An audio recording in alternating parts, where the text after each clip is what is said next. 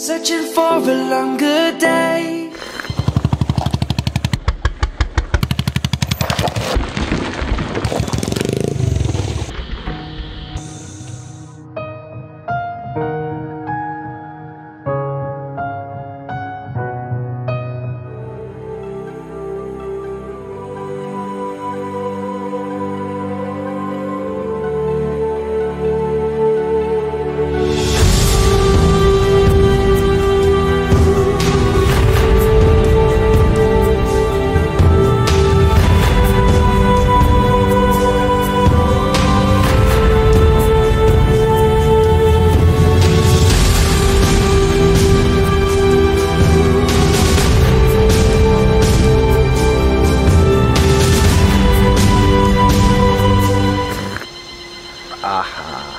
पो आनन्द लाग्यो।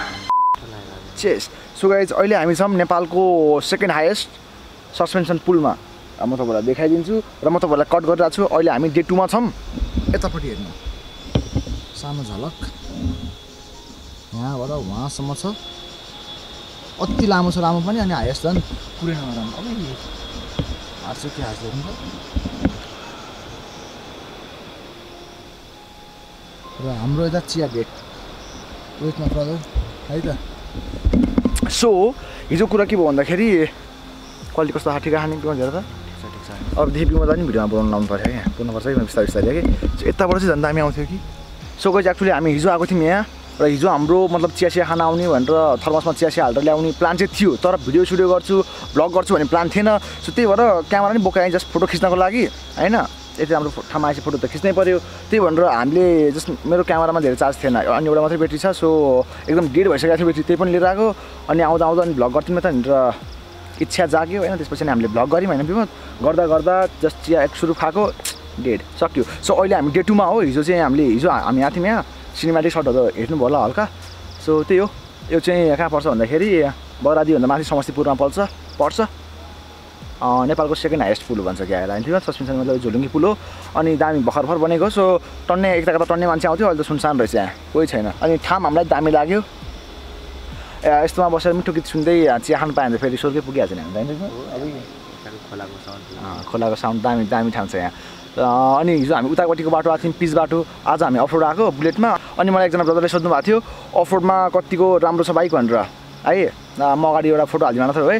साँच्चै सोध्नु भएको थियो गफान होइन? अनि त्यसपछि अफरोडमा कुरै नगरौँ कुरै नगरौँ ठाडै उकालो थियो यस्तै उकालो थियो ढुङ्गाहरू यतातिर थियो तर हल्का ग्राउन्ड क्लियरेन्स चाहिँ अलिकति अलिकति कम हो कि भन्छ तर त्यति धेरै फरक पर्दैन त्यस्तो साह्रै नै पनि होइन तर चाहिँ अति दामी पावरको त कुरै नगरौँ दुईजना यति भुस्टिकृति मान्छेहरूलाई भुतुतो तान देखाएर यार त्यो मतलब फिलै हुँदैन कि नर्मल पिजमा चला जस्तो एक गेटमा हालौँ हाफ प्लस केही नलिकौँ जस्ट नर्मल पठाएर दामी अति दामी पावरको त कुरै नगरौँ अझै हामी जस्तो एकजना मान्छे राख्दै आए पनि मजाले तान्थ्यो। चौरल तान्छ जस्तो लाग्छ मलाई त। त्रिपल त कि डबल त कुरै नगरौँ स्क्रुबाट सिङ्गल तानेको भन्दा बढी मतलब नर्मल टाइममा पनि। अति पावरको कुरै नगरौँ अनि ग्राउन्डको मतलब त्यो हाइट पनि क्लियरेन्स पनि ठिकै खालको हो त्यति धेरै ऊ होइन तर अति बेस्ट त्यो पनि यत्रो त ढुङ्गा थियो तर पनि छोएन काहीँ पनि। ब्रेक चाहिँ बरु नहाल्नु है ओभरअलमा चाहिँ अलिक गाह्रो हुनसक्छ किनभने पहाडीको ब्रेक अलिकति हान्दाखेरि तल हुनसक्छ। सो त्यति ध्यान दिनु तपाईँहरूले। अरू सबै बेस्ट छ। अफ रोडमा होस् अनि अन रोडमा मतलब पिच रोडमा झन् कुरै नगरौँ टक्क पाँच गेटमा हालौँ बुट्टु टुट्टु पार्दै जाम बहुत सोर्खे पुगे जस्तो हुन्छ। अनि अफ रोडमा पनि दामी सबै कुरा दामी अन पोइन्ट टकै छ? अब हामी खान्छौँ चिया एक सुरु प्लिङ्क लगाएर चेस अनि आज कालो चिया छ हिजो चाहिँ दुध चिया ल्याएको थियो विमलले अनि अँ सबै मजा अनि गीत त सुन्नै बाँकी नै छ हामीले। अहिले त कपिराइट क्लेम लाग्छ भनेर हो है। अनि अब त्यही हो। एकछिन बिमासँग यसो गफसप गर्नुपर्छ फेरि यहाँ आइसकेपछि यस्तो मिठो भ्यूमा होइन? म भिडियोलाई क्यामेरा त्यहाँ राख्छु त्यसपछि तपाईँहरू टाइम ल्याप्स हेर्नु हामी चाहिँ चिया खान्छौँ ओके? त्यही हो।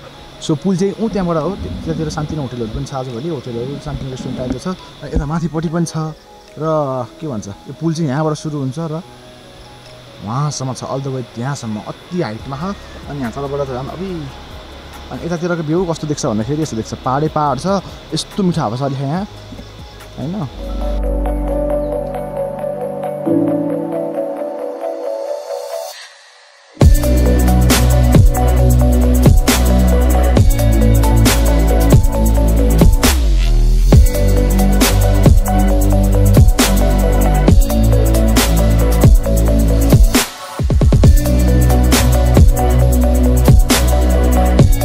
चियाको कार्यक्रम हाम्रो हुँदैछ होइन? तर त्योभन्दा अगाडि अन्ध्यारो हुन लागिसक्यो अन्ध्यारो हुन लागिसक्यो है अब हामी यसो एक दुईवटा फोटो खिच्छौँ।